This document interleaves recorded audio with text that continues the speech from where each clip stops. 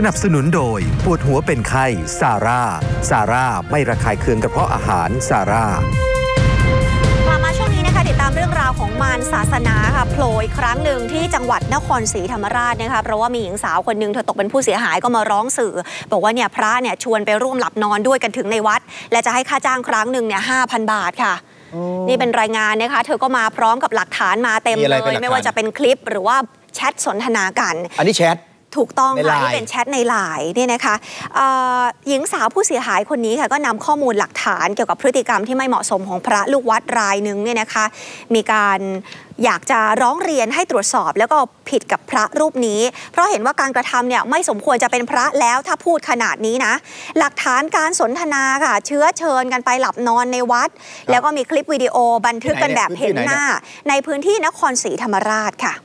นะคะ ซึ่งข้อความที่ปรากฏเนี่ยก็มีทั้งคลิปที่พระรูปนี้โชว์ของลับให้เธอดูด้วยนะคะ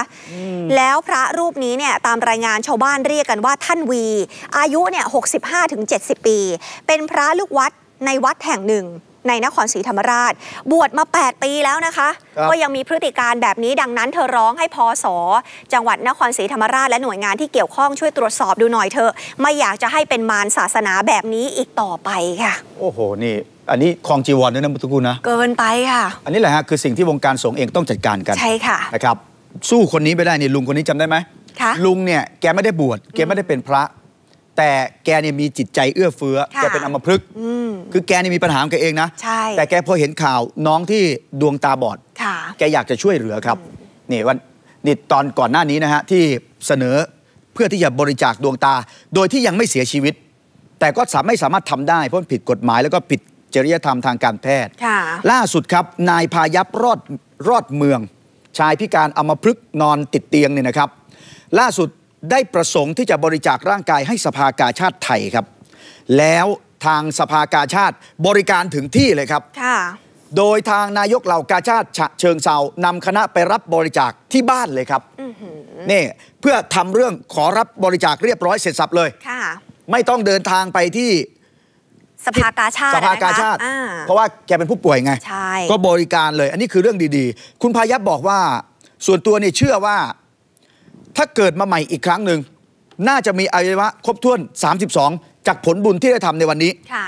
แล้วร่างกายเมื่อเราตายไปแล้ว มีโอกาสได้ใช้ประโยชน์ช่วยเหลือชีวิตอื่น ๆ ที่ยังรอความหวังอยู่ครับค่ะโอ้นี่ดูจิตใจแก โมทนาสาธุด้วยจริง ๆอะ ถัดมาอีกเรื่องหนึ่งนะคะ มาดูเรื่องอุทาหรณ์ของการแชร์ข้อมูลต่อๆกัน โดยไม่ตรวจสอบข้อเท็จจริงให้ดีก่อนเนี่ยนะคะ เกิดขึ้นที่จังหวัดเชียงใหม่ค่ะผู้โพสต์ท่านหนึ่งคือคุณธนวัฒน์จารณชัยวัฒน์คือเขาไปโพสต์นะคะเป็นภาพป้าย แล้วเหมือนสะท้อนว่าเศรษฐกิจเชียงใหม่ตอนนี้ย่ำแย่มาก ล่าสุดออกมาขอโทษแล้ว เพราะอันนั้นมันเป็นภาพเก่า และตัวเองอะเอามาแชร์ ผู้โพสต์รายนี้คือคุณธนวัฒน์จารณชัยวัฒน์ค่ะ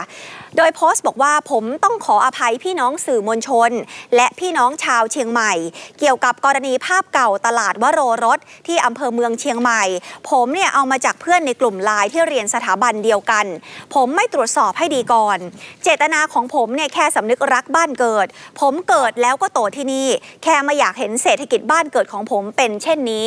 จึงครับขออภัยมาณที่นี้ด้วยนี่ยกป้ายมือไหว้แบบนี้เลย ป้ายเมื่อกี้คืออธิโพสต์ใช่ไหมใช่ค่ะอ่า ที่เป็นป้ายผ้าเนี่ยนี่ครับ นี่ค่ะ โพสต์ที่ว่านี้ข้อความในป้ายผ้าบอกว่าไม่มีลูกค้าไม่มีเงินจ่ายลูกน้องแล้วครับ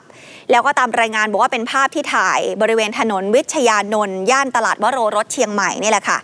ล่าสุดเว็บไซต์เชียงใหม่นิวส์ค่ะ ออกมารายงานแล้วนะคะ ในช่วงเย็นวานนี้โดยบอกว่าพอเห็นโพสต์ของคุณคนเนี้ยผู้สื่อข่าวเชียงใหม่นิวก็ลงพื้นที่ไปสำรวจเลย ปรากฏว่าไปแถวนั้นก็ไม่เห็นมีป้ายอันนี้นะครับนะคะ สอบถามเอ่อคนแถวนั้นเขาก็บอกว่าไม่เจอป้ายแบบนี้เลยค่ะ อืมบ่เคยหันมาบ่เคยหันไปอ๋อครับครับผมมีตายที่นี่มาสี่สิบกว่าปีแล้ว แต่ก็บอกเคยเห็นป้ายไม่นี่เคยเห็นค่ะอืม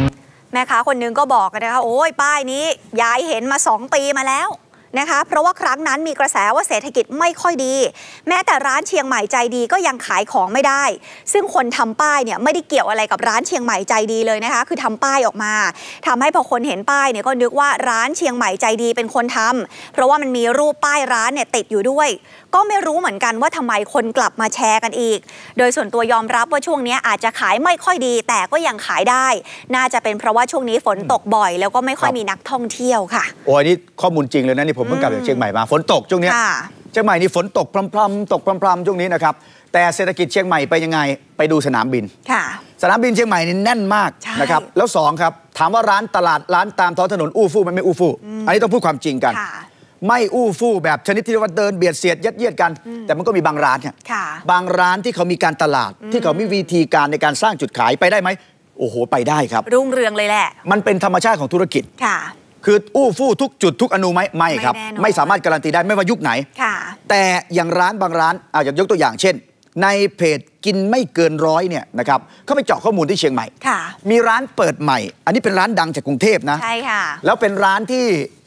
เรียกว่าราคาไม่ถูกอะ่ะค่ะ ปรากฏว่าเพิ่งไปเปิดใหม่เมื่อต้นเดือนที่ผ่านมา นั่งกินเนี่ยรอคิวกันตึมเลยครับ อย่างที่เห็นในภาพ ก็รอคิวทุกสาขาเลยค่ะ ในกรุงเทพก็รอเหมือนกัน เออเนี่ยคือไม่ได้เบาบางไปกว่าที่อื่นเลยอะใช่กำลังซื้อเนี่ยถามว่ายังมีไหมมี แต่ว่าต้องตอบโจทย์ลูกค้าให้ได้ค่ะ เพราะว่าทุกวันนี้มีการเปลี่ยนไปเยอะ มีการซื้อทางออนไลน์ มีการพัฒนาแพ็กเกจจิ้งวิธีการขายนะครับ อย่างเช่น แม้กระทั่งร้านไม้เมืองค่ะ อันนี้ผมไปกดไลค์แฟนเพจเขาทำไมเขาจะคะเป็นนักร้องวงชื่อวงไม้เมืองอ่าร้องเพลงโฟกซอง โอ้ยร้องเพลงเพราะมากอืมที่น่าสนใจก็คือว่านอกจากเขาเล่นสดที่ร้านแล้วนะ นอกจากเล่นสดที่ร้านแล้วเนี่ยนะครับเขาใช้เทคโนโลยีให้เป็นประโยชน์ยังไง อันนี้คือเขาถ่ายทอดสด Facebook Live โอ้ถ่ายทอดสดด้วยค่ะณนุ่นอยู่ที่บ้านใช่ไหมไม่ได้ไปนั่งที่ร้านทำไง เปิด Facebook Live ดูสดอ๋อฟังเพลงได้ฟังเลยเพลง โทรศัพท์สั่งอาหารจากร้านใกล้ๆบ้านมากินก็ได้ ไม่ต้องกินจากเขาก็ได้แต่ว่ายืมบรรยากาศจากร้านนี้หน่อยนี่บรรยากาศเออแต่เขามีวิธีเนี่ยที่เห็นอยู่ในป้ายเนี่ยเขายก QR code ขึ้นมาทำไมจะให้เราสแกนใช่ไหมถ้าเกิดอยากจะติปนักร้องโอ้โหอยากจะคล้องพวงมาลัยนักร้องโอ้ยอันนี้ใช้ QR code ได้โอ้ดิฉันนับถือน้ำใจเลยนะอะเดี๋ยวไปดูว่าเนี่ยมันใช้ได้จริง ๆ แล้วมีคนติปนักร้องผ่าน QR code ได้จริงๆฮะโอ้โห QR code ของเฮาวันนั้นสำเร็จนะเจ้ามีเงินโอนเข้าบัญชีจากวันนี้ลองใหม่เนาะโหเอะก็เพราะว่ามันสำเร็จแต่ว่าวันนั้นซาวบาทล่อวันนี้เฮาก็คิดแต่มากกว่าซาวบาทก็ได้นะเจ้ามันเข้าแต่อันนี้อันนี้อันนี้ เพราะว่าถามมาบอกว่าอยากจะฮื้อติปนักฮ้องจากทางเอาไงบ้าล่ะนทำจะได้ดีนะเจ้าอ๋อแคปหน้าจอครับ ก็เลยจัดการ QR code แคปหน้าจอได้เลยนะเจ้า อยู่ไหนก็โอนได้โอ้ยอ่าอย่างเบอขึ้นสักเตือนน่ะนะอันนี้มันดีเลย15วิครับสิบห้าวิอืมป่านนี้ขึ้นแล้วครับ ป่านนี้ขึ้เงินนแล้วโอนเนอะเข้าประมาณแสนห้าแล้วครับโอ้ยเอ๊ขอบคุณเจ้าขอบคุณเจ้าสำหรับแฟนเพลงที่รับชมอยู่ทางบ้านตลอดระยะเวลาประมาณเกือบเกือบเป็นไงคุณนุ่น มันต้องปรับตัวจริง ๆ นะ ต่อไปนี้จะติปนักร้องนี่ภรรยานี่ต้องดึงโทรศัพท์สามีไว้เลยนะเพ ราะว่าอยู่ที่บ้าน QR code มารอหน้าจอแล้ว แต่คุณเออพี่สองคนนี้เขาร้องเพลงเก่งจริง แล้วเขาก็ไปเปิดหมวกอยู่ที่ตลาดเชียงใหม่บ่อยค่ะแล้วคนเนี่ยลุมกันโอ้โหดิฉันนับถือไอเดียจริงอะๆ4.0 มากแล้วพอมาถึงดอนเมืองครับวันก่อน ผมเจอกับตัวเลยอันๆนี้ทำไมคะปรากฏว่าขอสมกเขามีรถวิ่งบริการชัตเติลบัสจากดอนเมืองเข้ามาในเมืองค่ะมีหลายสายนะหนึ่งในนั้นคือสาย A1 ครับ เจอกับตัวเลย กระเป๋ารถเดินสะพาย QR code อ่านนะครับแล้วบอกพนักบอกคน ขึ้นโดยสารผู้โดยสารเลย พี่พี่พี่พี่ใช้ QR code จ่ายตังค์ได้ นี่สาย A1 อ๋อไม่ไม่ต้องหยิบไม่ต้องควักกระเป๋าตังค์คืออันนี้กมาตอนที่เขาเปิดตัว แต่เมื่อวานนี่ผมเจอกับตัวสดๆร้อนอ๋อๆแล้วสามารถที่จะจ่ายเงินผ่านโทรศัพท์มือถือได้ค่ะไม่ต้องพกเงินสดครับโอ้สุดยอดไม่ต้องเสียเวลาทอนเงินไม่ต้องอะไรกต่อว่ามีจะอะไรหาเหรียญกว่าจะควักเหรียญกันอีกเพราะฉะนั้นที่ผมสงสัยก็คือแล้วแคชบ็อกจะซื้อไปทำไมฮะต่อไปนี้เออถ้า รวมไปถึง QR code ได้บัตรใช่ไหมลงอะไรด้วยเอ้าอ๋ออ๋ออ๋อมันสามารถจริงๆใช้ได้แล้วอะนี่คือค่ะตัวอย่างที่ดีฮะถูกต้องตัวอย่างของการปรับตัวนะครับ แล้วล่าสุดรัฐมนตรีพาณิชย์คุณสนธิรัตน์สนธิจิรวงศ์เปิดเผยด้วยครับเตรียมร่วมมือกับคลังขยายรูปแบบการใช้บัตรสวัสดิการแห่งบัตรแห่งรัฐ บัตรลุงตูเนี่ยนะครับปกติใช้จ่ายเงินได้ผ่านเครื่อง EDC ใช่ไหมค่ะต้องไปร้านที่มีเครื่อง EDC แต่ที่นี้จะขยายครับ สามารถใช้กับระบบ QR code โอ้โห ร้านค้าที่ไม่ใช่ร้านธงฟ้าก็ได้ ถ้าเกิดว่าเป็นการขายสินค้าที่ไม่ขัดกับระเบียบ โอ้ยดีเลย เพราะว่าร้านที่เขาไม่ร่วมโครงการก็ได้ประโยชน์ด้วยเออขอให้มี QR code ค่ะณนุ่นไปเดินตลาดบ้างไหมทุกวันนี้ เดินสิคะ ตลาดสดเนี่ยแม่ค้าขายผักยังมี QR code เลยโอ้โหผมไปเดินมาแล้ว ตลาดบ้านกาดที่อำเภออำเภอสันปะตองจังหวัดเชียงใหม่อืมปรากฏว่าไม่ใช่ตลาดระดับจังหวัด ไม่ใช่ตลาดระดับอำเภอค่ะตลาดระดับตำบล คือเป็นท้องถิ่นเลยอะ แม่ค้าแผงขายผักมี QR code ตั้งให้ เวลาไปจ่ายตังค์ได้เลยสแกนปุ๊บจบเลย นี่ไงนี่คือการเปลี่ยนแปลงครับค่ะมันจึงต้องมีการปรับตัว แล้วเชียงใหม่ตอนนี้ ถ้าพูดถึงการเปลี่ยนแปลงไหนๆไปเชียงใหม่แล้วพาไปดูอันนี้ค่ะอุโมงค์เชียงใหม่เสร็จแล้ว อุโมงค์อะไร นี่เกิดยุคนี้ค่ะอุโมงค์ที่ให้รถวิ่งรอดฮะอ๋ออ่่าแก้ปัญหาจราจรที่เชียงใหม่ค่ะล่าสุดเปิดตัวอย่างเป็นทางการเรียบร้อยนะครับ แก้ปัญหาจราจรที่เชียงใหม่ ใครที่เดินทางไปที่เชียงใหม่นี่จะรู้ ว่าเชียงใหม่นี่การจราจรติดน้องๆ กรุงเทพเลยค่ะล่าสุดนี่คือพิธีเปิดวันก่อน เมื่อวันที่ 9 มิถุนายนนะฮะ แต่ตัวอุโมงค์ครับไปดูภาพนี่ อุโมงค์ฟ้าห้ามค่ะนะครับ นี่นี่นี่นี่สดสดร้อนร้อนๆเป็นทางลอด นะเป็นทางลอดฟ้าห้ามนะครับ แล้วก็สะพานข้ามน้ำขัวสรีเวียงพิงเนี่ยนี่นี่เห็นไหมมีการเปลี่ยนแปลงมีการพัฒนาเกิดขึ้น นี่ที่เชียงใหม่ฮะอันนี้ของจริงรองรับไม่ใช่เรื่องในอดีตเอามาหลอกกันใช่ค่ะเอาของจริงมาให้ดูอืมแล้วพูดถึงของจริงล่าสุดต้องพูดถึงคนนี้ใครคะนายกอบจเชียงใหม่ คุณบุญเลิศบูรณะบูรณุปกรณ์ฮะกลับมาแล้ว กลับมาแล้ว กลับเข้าที่ทำงานแล้วนะครับ เป็นวันแรก หลังจากที่สำนักนายกมีคำสั่งเปลี่ยนแปลงคำสั่งหัวหน้าคอสช ให้เจ้าหน้าที่รัฐที่อยู่ระหว่างการตรวจสอบเพิ่มเติมกลับไปปฏิบัติหน้าที่ค่ะในจำนวนนั้นมีคุณบุญเลิศบูรณุปกรณ์ด้วยนายกอบจวันนี้ยืนยันครับนักข่าวนี่ตามซักเลยนะค่ะเรานี่พยายามจะติดต่อขอสัมภาษณ์ท่าน ว่ามีดีลการเมืองไหม เพราะคนสงสัยว่าไง สงสัยว่าเนี่ยพอถูกตรวจสอบแล้วพอถูกปล่อยอย่างนี้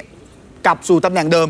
มีดีลการเมืองหรือเปล่าค่ะแล้วหลังจากนี้จะเปลี่ยนพลิกขั้วหรือเปล่า จากเพื่อไทยจะย้ายข้างไปสู่คอสช หรือพักที่หนุนคอสชหรือเปล่าโอ้โหอยากจะถามตรงค่ะๆแต่ท่านติดงานวันนี้ช่วงเย็นนะครับ แต่ท่านยืนยันกับนักข่าวในท้องถิ่นว่า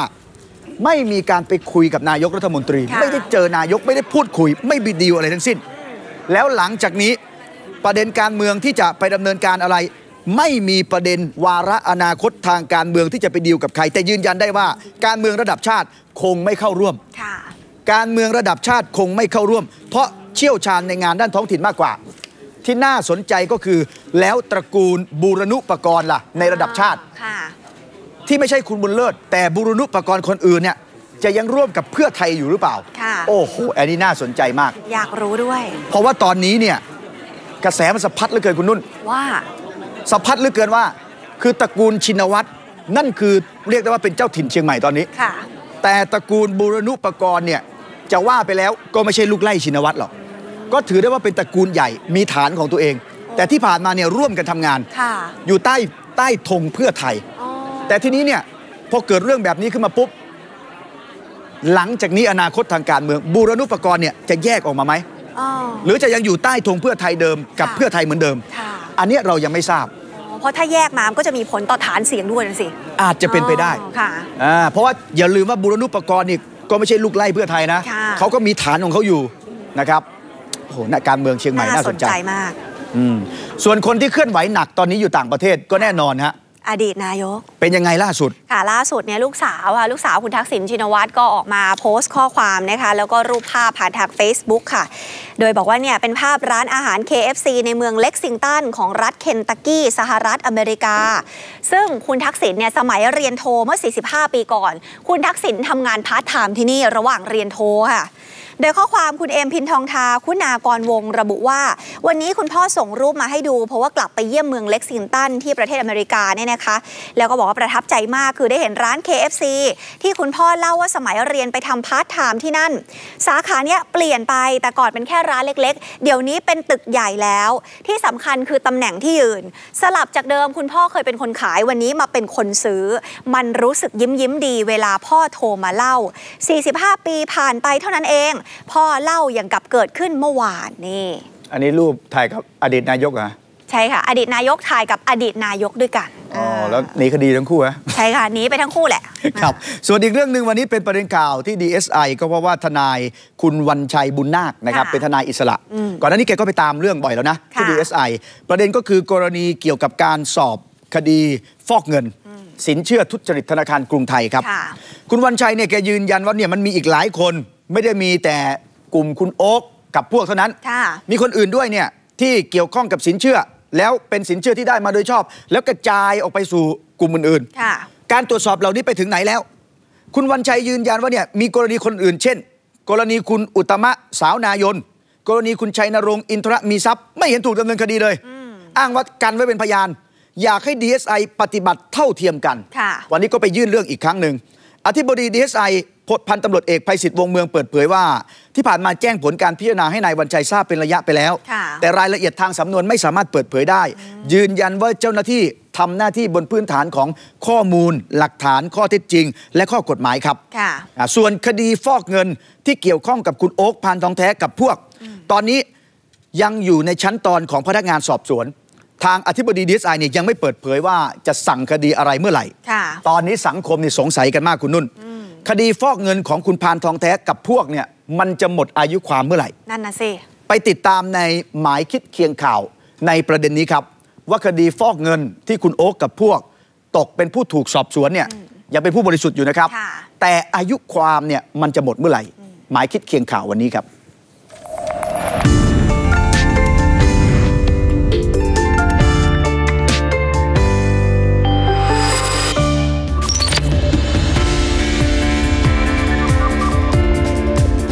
ฟอกเงินกรุงไทยที่มีนายพานทองแท้ชินวัตรและพวก ถูกสอบสวน ขณะนี้ยังค้างคาอยู่ในชั้นพนักงานสอบสวน DSI ผู้ต้องหาปฏิเสธตลอดข้อหา ยังถือเป็นผู้บริสุทธิ์อยู่ลองมาดูว่าคดีนี้จะหมดอายุความลงเมื่อไหร่ คดีอาญาในฐานฟอกเงินจะมีอายุความ 15 ปี นับจากวันที่มีการกระทำผิด ในทางสอบสวนทราบว่า พบเช็คที่เกี่ยวข้องในคดี 2 ชุด ชุดแรกเช็คลงวันที่ 30 ธันวาคม 2546 จำนวน 26 ล้านบาท หากนับไป 15 ปี หมายความว่า คดีอาจจะหมดอายุความในเดือนธันวาคม 2561ชุดที่ 2 เช็คลงวันที่ 17 พฤษภาคม 2547 จำนวน 10 ล้านบาท หากนับไป 15 ปี หมายความว่า คดีอาจจะหมดอายุความในเดือนพฤษภาคม 2562 ขณะนี้ DSI ยังไม่ได้สั่งคดีและส่งสำนวนให้อายการ ที่ผ่านมาสังคมเจ็บปวดกับลูกกระทิงแดงโมเดล ซึ่งบางข้อหาปรากฏว่า ไม่ได้ตัวผู้ต้องหามาดำเนินคดี ภายในอายุความจึงทำให้คดีนั้นสิ้นสุดลง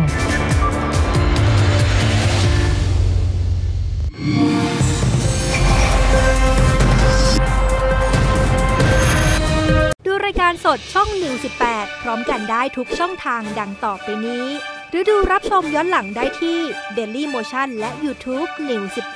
118 อย่าลืมกด Subscribe YouTube ช่อง118 เพื่อติดตามข่าวสารตลอด 24 ชั่วโมง